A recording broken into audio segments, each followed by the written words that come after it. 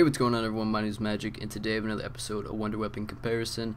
And if you're watching this video on someone else's channel other than mine, check the description where you can find a link to my channel. And if you're already watching my channel, then that's pretty awesome. So I would just like to explain the series just in case this is your first episode, and if this is your first episode, I would recommend going back to check out my other episodes. I have like seven other, or something like that, I'm not quite sure.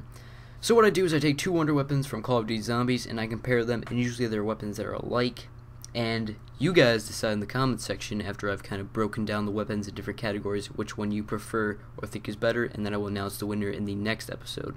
So before we get started on this episode of Raygun versus Raygun Mark II, I would like to announce the winner for the last episode where I had the Blundergat and the Sliquifier face off. Now in the comments section you voted that the Blundergat won, and surprisingly this was a landslide. I mean I was thinking of it, thinking it was going to be pretty close, you know, I was thinking like the Sliquifier was going to win it, even though I personally said the Vitriolic Withering was better, not the Blunder Blundergat, but they're the same gun anyways, just its pack-a-punch version would be better. And it was a landslide. It was like 8 to 2 in the comments section. Like every 8 Blundergats there was 2 Sliquifiers. So, you know, obviously Blundergat won that one. And so guys, let's get started on the Raygun versus Raygun Mark II. So the first category we have is ammo. And basically these weapons are basically the same in ammo because they are the same weapon, but the ray gun holds 20 to clip and 160 reserve, but when it's upgraded to the Porter's X2 ray gun, it holds 40 to clip and 200 reserve.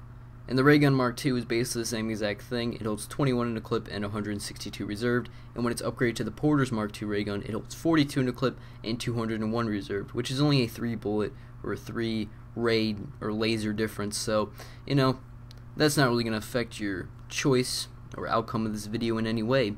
So next category is which weapon is the most powerful. Now this one's going to go to the Raygun Mark II because I'm going to mention this later in the video as well. The ray gun stops being one hit, one kill about like around 20-ish, 25, something around there.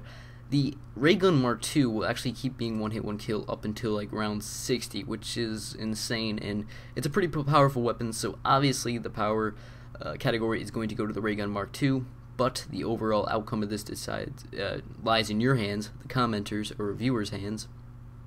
The next category is one hit, one kill, which is what I just said. Around 25 is when the ray gun starts to basically no longer start to kill in one hit, and the ray gun Mark II stops killing in one hit at around 60. The next one is least splash damage, and the ray gun Mark II has absolutely no splash damage, and the ray gun has plenty meaning if you don't have PhD flopper perma perkin buried, then you know it could be a little bit harder. But something I would just like to point out, um, I don't know if you've noticed this or it's not really a thing, but it seems like that the ray gun in Black Ops 2 has less damage uh, than the ray gun in the first Black Ops. I don't know. I just feel, I just feel like I don't kill myself as much in Black Ops 2. I mean, granted, the first Black Ops had PhD flopper, but whenever I didn't have PhD Flopper in the first Black Ops, it seemed like the ray gun was much more apt to kill you. It seemed a lot more powerful. So, that category is going to go to the Raygun Mark II, obviously. The next category is which weapon is most useful. Now, this one is also going to go to the Raygun Mark II because it's more powerful and it would take you into much farther rounds, which is like double double the rounds that the ray gun will take you.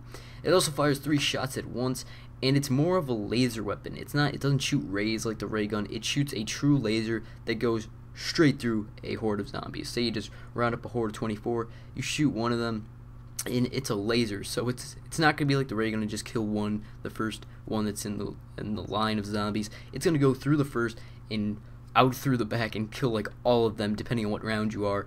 Uh, if obviously if you're on a lower round, it's going to kill the entire horde or everything it hits. On the higher rounds, though, it will go through a couple, but obviously you won't kill all of them. So, the most useful weapon is going to be the Ray Gun Mark II. The next one is most kills with one shot, and again, the Ray Gun Mark II. It doesn't really seem there's anything bad about this weapon. It basically beats the Ray Gun in all categories, meaning that most likely everyone's going to say Ray Gun Mark II in the comment section below. But why does it have the most kills with one shot? Well, obviously because the Ray Gun Mark II is a three-shot spray weapon.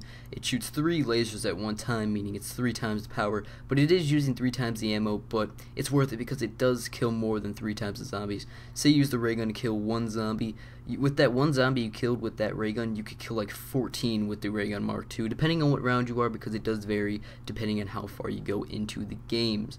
So obviously later rounds are going to be more, much more useful when using the ray gun Mark II.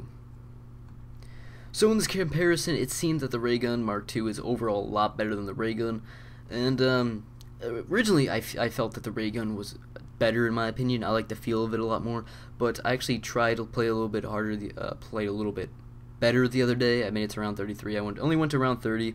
I, I, okay. Let's um try and make this a little bit better. I wasn't really talking that well there. I was kind of getting stuff mixed up right there. I don't know why. Um, because I'm taking this all in one take, so you know. Um, I went. My goal was to get to round 30, and after I got to round 30, I stopped caring. I didn't buy any more quick revives, and I flawlessed it to 30, so I was happy. And I just kind of let myself go down. And in that, I was using the ray gun Mark II, and in that game, I realized how useful the ray gun Mark II is. I underestimated it. I kind of like put it behind the ray gun because I'm like, I'm used to this weapon, I like this weapon a lot more. I can't get used to this ray gun Mark II. The feel is different. I like the ray gun Mark II a lot better than the ray gun, especially because it doesn't have that splash damage. Meaning, if you get trapped in a corner, then you can just spray, spray, spray, and all the zombies are dead. So it's overall a lot more useful weapon than the ray gun. And the reason I did this comparison is because it was highly requested, and I will also have a comparison of the Paralyzer coming out soon. So if you guys did enjoy this breakdown, remember to click the like button and subscribe, and leave a comment if you have any questions, and also leave a comment which gun you like better, the Raygun Mark II or the original Raygun, and leave a comparison of two weapons down description below what weapons you want me to compare next, and also leave me something with, leave me another category, another way to basically compare the weapons because I don't know all these categories seem the same but really the concept is the same. Basically which weapon for killing zombies is really what it's supposed to be. I mean there's really only one thing it has to do. It has to be powerful and it has to have a decent amount of ammo so it get you into the higher rounds without needing a lot of max ammo. so really it's just the same thing. All the categories are gonna have to tie in together. So I try to do my best with coming up with categories but if you have any categories that you think would make it a little bit more interesting don't forget to leave that in the description below and tell me what gun you like better. I've said that like eight times. Anyways, guys, my name is Magic, and I'm out. Man, this money looking evil. I think it's the devil. Feel like I'm a rebel. Pedal to the metal. If you really want that bling, I pull that string like I'm Geppetto. I heard you should never settle for that chick who rocks stilettos. Like everybody really wanna copy the game. Heart so cold like a rock in a chain, but I really wanna go. Really